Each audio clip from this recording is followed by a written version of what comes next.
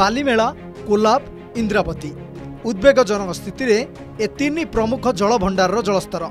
ବାଲିମେଳା ଜଳଭଣ୍ଡାର ଜଳଧାରଣ କ୍ଷମତାର ମାତ୍ର ଚଉରାଳିଶ ପରସେଣ୍ଟ ଜଳ ଥିବାବେଳେ କୋଲାବର ଏକଚାଳିଶ ପରସେଣ୍ଟ ଏବଂ ଇନ୍ଦ୍ରାବତୀର ତିରିଶ ପରସେଣ୍ଟ ପାଣି ରହିଛି। ତେଣୁ ଉଭୟ ବିଦ୍ୟୁତ୍ ଉତ୍ପାଦନ ଓ ଜଳସେଚନକୁ ନେଇ ଚିନ୍ତାରେ ସରକାର। କଳାହାଣ୍ଡିର ଜୀବନରେଖା କୁହାଯାଉଥିବା ଇନ୍ଦ୍ରାବତୀ ଜଳଭଣ୍ଡାରର ସ୍ଥିତି ଦେଖନ୍ତୁ। ଇନ୍ଦ୍ରାବତୀ ଜଳଭଣ୍ଡାର ପୋଡ଼ାଗଡ଼ କପୁର ଓ ମୁରାନ୍ ଡ୍ୟାମ୍କୁ ନେଇ ମିଳିତ ଆୟକଟ ଅଞ୍ଚଳ ହେଉଛି ଦୁଇ ହଜାର ଛଅଶହ ତିରିଶ ବର୍ଗ କିଲୋମିଟର।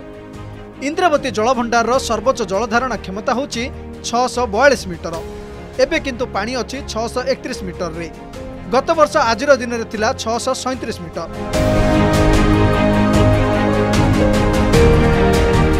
କମୁଛି ଜଳଭଣ୍ଡାରର ଜଳ। ଶୁଖିଲା ପଡ଼ିଲାଣି କେନାଲ। ପାଣିର ଅଭାବ ପାଇଁ ଡିସେମ୍ବର ପନ୍ଦରରୁ ଜାନୁଆରୀ ଛଅ ପର୍ଯ୍ୟନ୍ତ ଏଠୁ ବିଦ୍ୟୁତ୍ ଉତ୍ପାଦନ ବନ୍ଦ। ସେପଟେ କେନାଲରେ ପାଣି ଆସୁନଥିବାରୁ ରବି ଚାଷ ପ୍ରଭାବିତ ହେବାର ଆଶଙ୍କା ସୃଷ୍ଟି ହୋଇଛି। ଏବେଠାରୁ ଜଳ ସଙ୍କଟରେ ଏ ସ୍ଥିତି ଦେଖି ଚିନ୍ତାରେ ଚାଷୀ। ଇନ୍ଦ୍ରା ପାଣିରେ ତ ଯେନ୍ ପାଣି କମିଯାଇଛି। ତ ଏ ଚାଷୀମାନକେ ପାଣି ଟିକେ ଡିଫଲ୍ଟ ହେଇଯାଉଛେ ଆରୁ। ଇନ୍ଦ୍ରାବତୀର ପାଣି ଅଷାଢ଼ ମାସେ ଆସୁଥିଲା ଆରେ ଏବେ ବନ୍ଦ ହେଇଗଲା ଡବଲ୍ ଦେବାର୍ ଲାଗି ତ ଦେଇନି ଚାଷ ଆମ ବାସକେ କରବାର୍ ନେଇ କିଛି ରବି ଫସଲ ବି ଭଲ ହେବାର୍ ନେଇ ମାଲ ଜାଗା ମାନେ। ପାଣି ଟିକେ ଆମର ଅସୁବିଧା ହେଉଛି ପାଣି ଫାଣି ଆସିଲେ।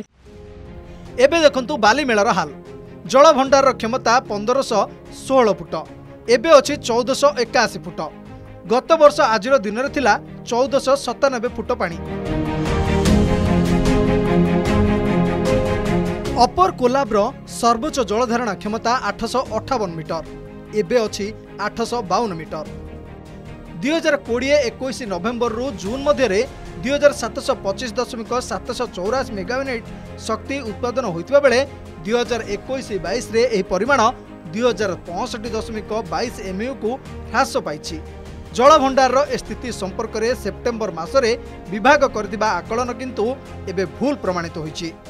ବର୍ତ୍ତମାନ ରିଜର୍ଭର କ୍ୟାପାସିଟିରେ ମାତ୍ର ଫିଫ୍ଟି ଟୁ ପରସେଣ୍ଟ ପାଣି ଅଛି ବୋଲି ତା ଅର୍ଥ ହେଉଛି ପାଣି ଯଥେଷ୍ଟ ନାହିଁ। ରବି ଚାଷ ପାଇଁ ସେ ଅନୁସାରେ କ୍ରପିଂ ପ୍ୟାଟର୍ନ ଏଗ୍ରିକଲଚର ଡିପାର୍ଟମେଣ୍ଟ ତରଫରୁ ସେମାନେ ଠିକ୍ଠାକ୍ କରନ୍ତୁ। କେମିତି ଅଳ୍ପ ପାଣିକୁ ନେଇକି ଅଧିକ ଚାଷ କରିହେବ ଅଧିକା ଏରିଆ କଭର କରିହେବ ତାକୁ ବ୍ୟବସ୍ଥା କରନ୍ତୁ। ଆମର ପ୍ରତ୍ୟେକ ମେଜର ମିଡ଼ିୟମ ଡ୍ୟାମ୍ରେ ମେଜର ଡ୍ୟାମ୍ରେ ତ ବିଶେଷ ଅସୁବିଧା ନାହିଁ ପାଣି କମ୍ ଅଛି। ଆମର ମିଡ଼ିୟମ ଯେଉଁ ଅଛି ରିଜର୍ଭର ଅଛି ତାକୁ ଆମେ ଲକ୍ଷ୍ୟ ରଖୁଛୁ କେଉଁଠି ବିପଦ କେଉଁଠି ନାହିଁ। ରାଜ୍ୟରେ ଏଥର ମୌସୁମୀରେ ସ୍ୱାଭାବିକଠାରୁ ନଅ ପ୍ରତିଶତ କମ୍ ବର୍ଷା ହୋଇଛି। ରବି ଋତୁରେ ଜଳସେଚନର ଲକ୍ଷ୍ୟକୁ ଦେଖିଲେ ଗତ ବର୍ଷ ଦୁଇ ଲକ୍ଷ ତେପନ ହଜାର ଛଅଶହ ଏକଷଠି ହେକ୍ଟର ଅଞ୍ଚଳକୁ ଜଳସେଚନ ପାଇଁ ପାଣି ଦିଆଯାଇଥିବା ବେଳେ ଚଳିତ ବର୍ଷ ଏକ ଲକ୍ଷ ସତାନବେ ହଜାର ସାତଶହ ପଇଁଚାଳିଶ ହେକ୍ଟର ଜଳସେଚିତ ହୋଇପାରିଛି। ଜଳଭଣ୍ଡାରର ଏ ସ୍ଥିତି ଚାଷୀଙ୍କ ପାଇଁ ଚିନ୍ତା ବଢ଼ାଇଥିବା ବେଳେ ସରକାରଙ୍କ ପାଇଁ ମଧ୍ୟ ଅଡ଼ୁଆ ଆଣିଛି। ଲାଞ୍ଜିଗଡ଼ରୁ ଭରତ ବିଶି କୋରାପୁଟରୁ ଗୋପାଳ ପାଢ଼ୀ ଓ ସମ୍ବଲପୁରରୁ ସୁରେନ୍ଦ୍ର ବାରିକଙ୍କ ରିପୋର୍ଟ ଅର୍ଗସ୍ ନ୍ୟୁଜ୍।